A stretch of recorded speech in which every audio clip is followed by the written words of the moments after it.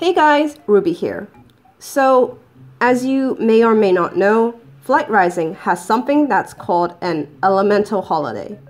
For every month of the year aside from December, and for each elemental holiday, the staff holds what is called a skin contest, where the artists of Flight Rising can submit their own skin designs and the winners of the contest will have their designs turned into official skin items for the site itself.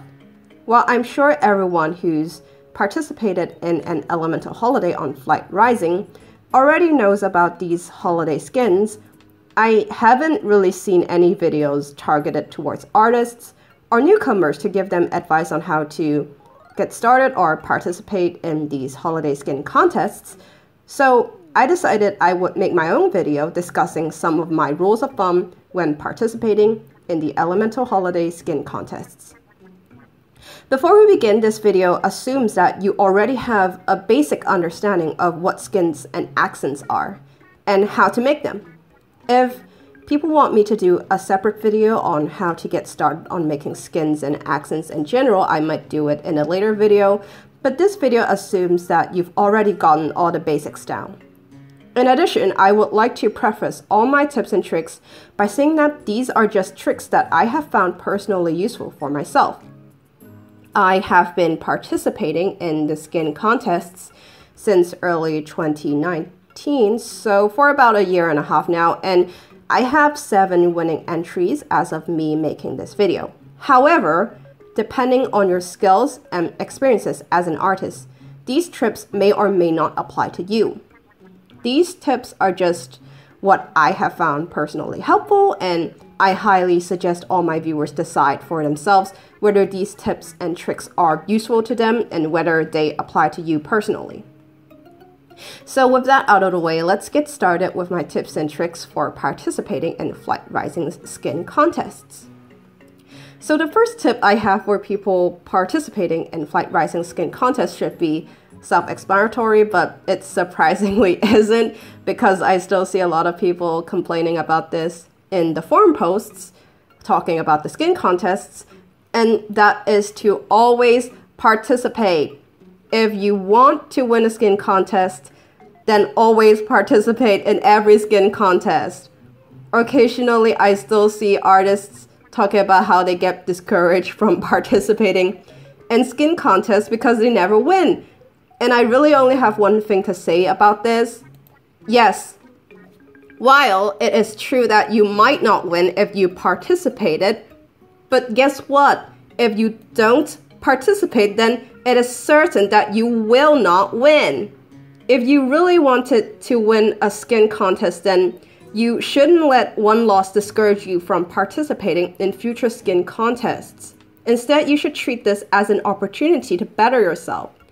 Revisit your skin and pick out some things that you would do better if you were to participate in another contest again, be it the shading, the use of colors, or the line art, anything. Just pick out one or two aspects you would do differently, and the next time you participate, you will produce a better product if you kept those areas of improvement in mind.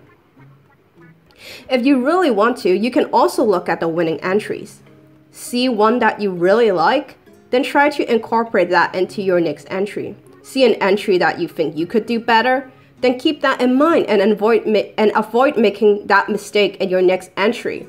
I don't want to say that the feeling of being saddened and being disheartened by losing isn't valid, but you should also learn how to pick yourself back up after losing a contest in order to better prepare yourself for the next one.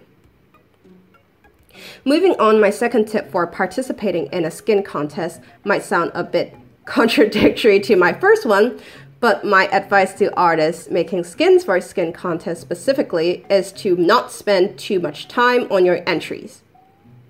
If you are making a skin solely for the sake of submitting it as an entry for Flight Rising's skin contest, then it is unwise to spend weeks or even months in advance just to finish that contest entry. This is because, unlike commissions, there is no guarantee that you will be compensated for your time. You might have spent months and months perfecting your skin and making sure that all the details are perfect and in order. But if the staff don't like your skin entry, you will not get picked and you will not get the gems and the skin blueprints for winning the skin contest. A valid point can be made that if your contest entry doesn't win, you can always just print it yourself to make back the money, make back the time that you spent on it. But at the same time, those hours that you've spent working on your skin contest entry could have been spent on doing actual custom skins where you can do skins or accents that don't necessarily have to be confined to the theme of the elemental holidays.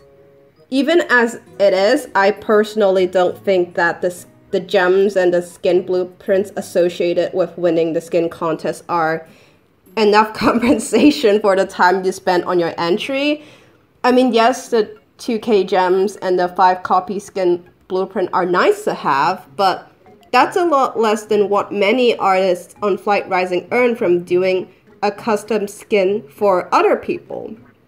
Hence, I would suggest treating skin contests as an opportunity to get exposure as an artist on Flight Rising, or as a way to kickstart your own skin or accent shop since your skin will be made available to the entirety of the Flight Rising community if it gets picked. In fact, some of my commissions have also been from other Flight Rising users seeing and liking my skins and then decided to commission me for art or other custom skins. Even if your skin doesn't win, many people still browse the submission thread for contests, so you can still get a decent amount of exposure if enough people like your submission. In short, please don't spend too much time on your submission because it is not certain that you will be compensated for your time and it is better to treat flight rising skin contest as a mean for exposure to get your name out there or to advertise your own skin and accent shops. All right, moving from my second tip, I'd like to remind all my viewers that once again, these tips and tricks are just what I have found helpful for myself. I don't really know my viewers' experiences or skill level as artists, so these might not apply to you personally. So please, please determine for yourselves if these tips are applicable to you. As my third tip regarding Flight Rising skin contest is don't do skins for popular breeds and don't do skins for breeds which the current festival is for. The reason why I have this tip for myself is because I consider myself a mediocre artist, uh, probably sl- slightly below average. And trust me, I will not be able to square up to the top 1% of artists on Flight Rising. And since popular breeds are popular because more people like them, the chances of a better artist submitting a skin for a popular breed is much greater than a less popular one. And since the staff will only pick two winning skins or accents of the same breed, statistically, your skin will have to be more appealing than more entries for popular dragon breeds such as Kodos and Sky Dancers than if you just decided to do, to do a skin for a less popular breed instead. Likewise, many people will rush to do skins for breeds which the current elemental holiday is for, hence it is also better not to do skins for those breeds either. Um, if you don't feel confident enough to compete with many other artists. For example, I would avoid doing skins for Guardians during the Water holiday, and I would avoid doing skins for Faes during Arcane's holiday. With this in mind, it will also be more important to learn which element the different breeds of dragons on Flight Rising originated from. Obviously, if you are part of the 1% of artists on Flight Rising, this tip would not apply to you. That's okay. Like I said, these are just tips and tricks that I personally find helpful, which is why they might not apply to everyone. Thus, I would suggest each viewer to determine on their own whether if each of these tips apply to themselves as an artist before applying them. All right. With that said, we've come to my final piece of advice, which I personally believe attributes the most to my winning entries for Flight Rising skin, uh, skin contests, and that is the concept for your skin is greater than the execution of the skin. In other words, your skin does not need to be the best, does not need to have the best art in order to win, as long as the concept itself stands out. So for this tip, I will use one of my own skins as an example. So if I were to ask you to come up with a design for a skin for Lightning's Elemental Holiday, what kind of concept or idea would you come up with? Probably something that has electricity in it. Um, maybe it will include some kind of circuitry in it. You might even add some machinery powered by electricity just to spice it up. And while all of those are all valid concepts and ideas for a lightning theme contest entry. Have you ever thought about designing a skin for a gamer girl dragon? That's right.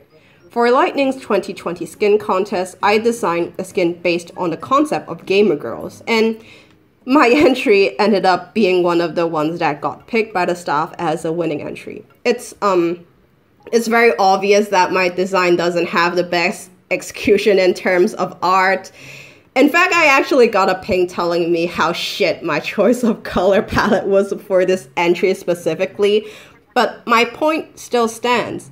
Everyone has seen plenty of skins based around electricity or circuitry or machinery when the lightning flight is concerned, but when was the last time that Lightning had a skin that's based on the idea of gamer girls? While the skill level of your art is undoubtedly important. I find that many people often neglect to put their own unique twists on the elemental holidays while working on their skins to make their entries truly stand out. Before you work on your skin, always brainstorm and see if you can find ways to expand or subvert the themes of the current elemental holiday before you work on your skin as I believe that will give you the biggest chance of having your entries to be picked as a winning one. With that, this concludes my personal tips and tricks for people who plan on participating in Flight Rising skin contests. Are there anything that you think I missed or disagree with? I'd love to hear your thoughts in the comment section down below. And if you like this video, feel free to like and subscribe for more content like this in the future. And I'll be seeing you in the next one, whenever that may be. See ya!